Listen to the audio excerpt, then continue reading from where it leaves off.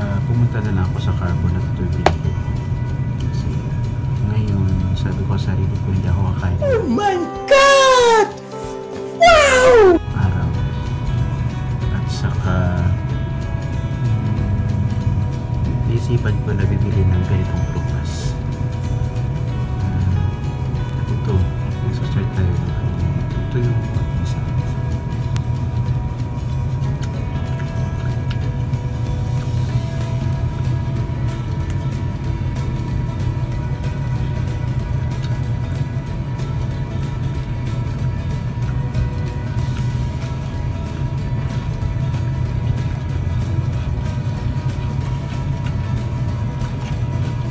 budget lang tayo kasi sa pandemic mo yung pera. Mahirap maghanap ng pera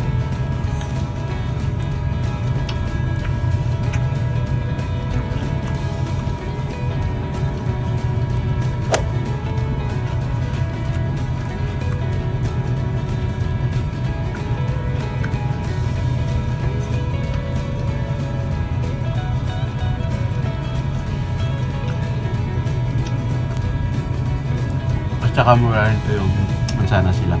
10 piso isa. Ang pipino nila is 30, ki- 30 pesos per kilo. Lansones nila is 40 pesos per kilo. Doon na sa carbon. Yung ka talaga sa carbon bibili kasi madami kasi bagsakan mga bilihin dito sa Cebu. Kung sa Iloilo ka ah, super. Kung sa Iloilo doon sa super ka bibili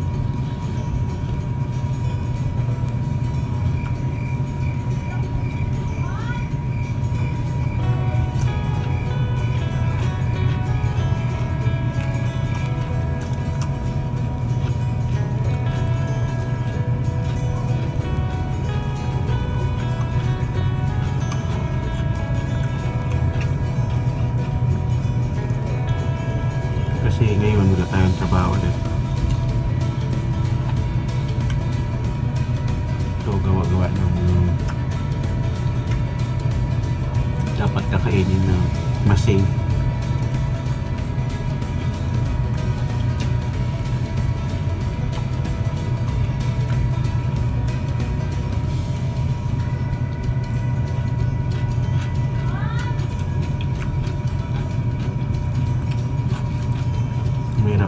mahirap nang bili ng bili. Pagkatapos baka mag-lockdown saan ako kuha ng pera? Diba? wala pa naman trabaho mo hirap maghanap ng pera.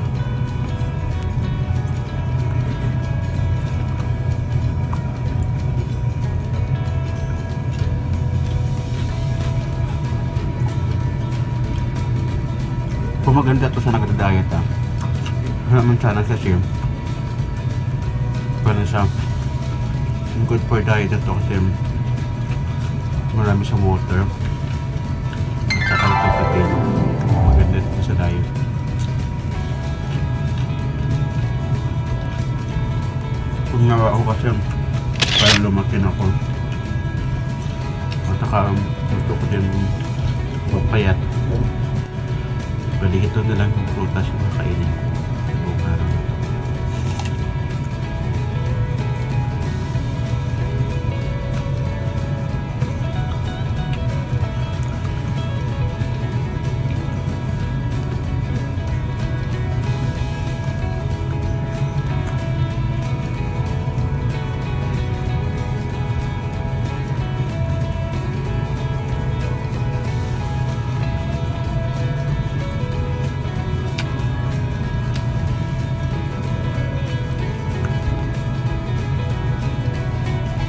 mas mura lang kasi pag sa carbon ka bibili Kasi bagsakan ng lahat ng mga mumumura mga mga gulay, isda, mga prutas, lahat mas mamura doon.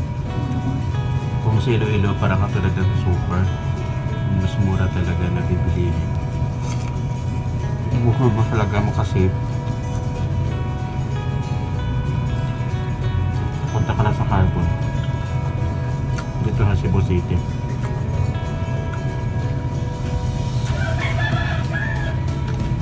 mahirap kung sakayan kasi yung marami naman beef. Kahit na wala pang jeep na yun. Pero marami naman makasakay ka naman.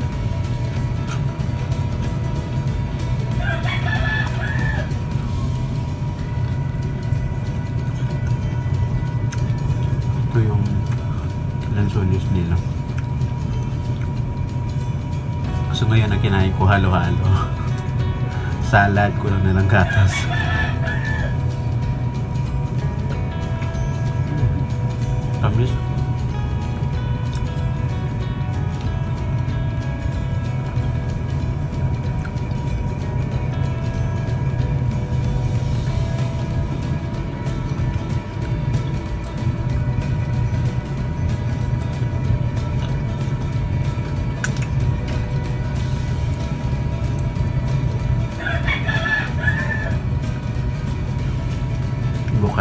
Bukas may trabaho naman tayo.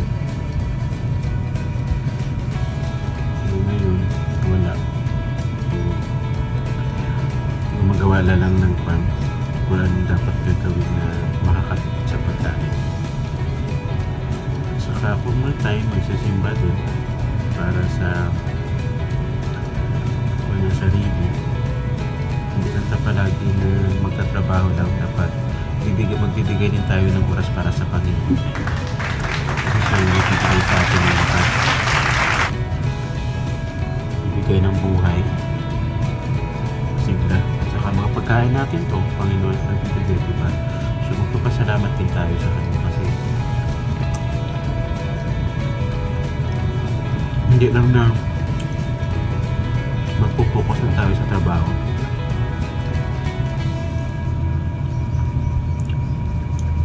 dapat lumapit din tayo para sa kanya.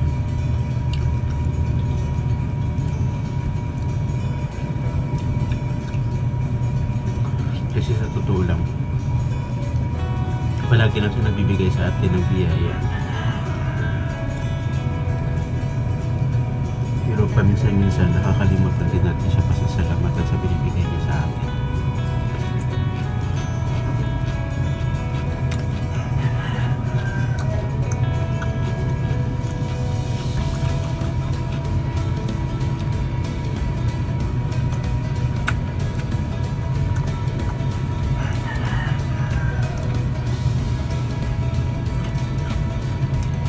Abangan mo ang yung next mukbang ko na challenge ko yung sarili ko magkakain ng balot.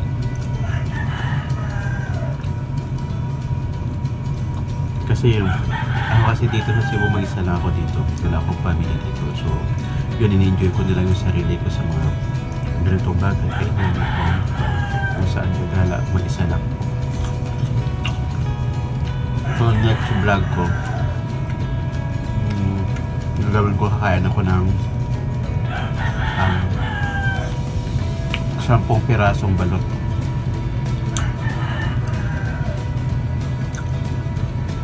At saka lalagyan ko ng chacharon. Depende ko ano makikita ko basta yung sampung balot.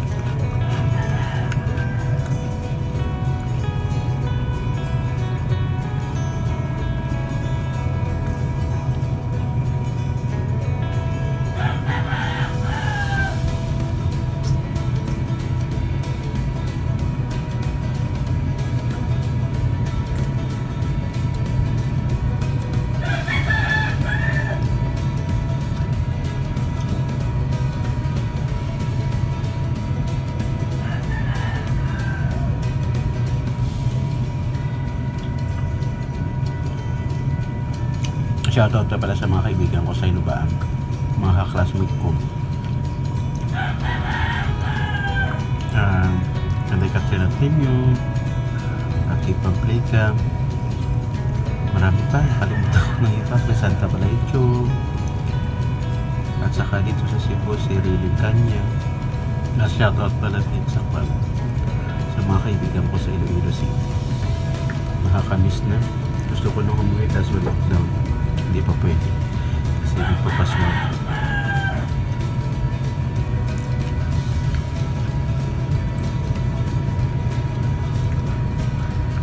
At saka sa kaibigan ko dito sa Cebu. Mga ka-work. Nila. Binigyan ko si Dane. Si Kera. Dayan. Michelle. Kinais. Mga kasama ko sa trabaho.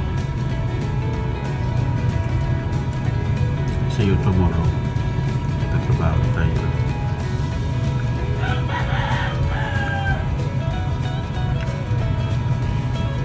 Maganda to sa health kasi but kung gusto ko talaga mag-diet, Oh my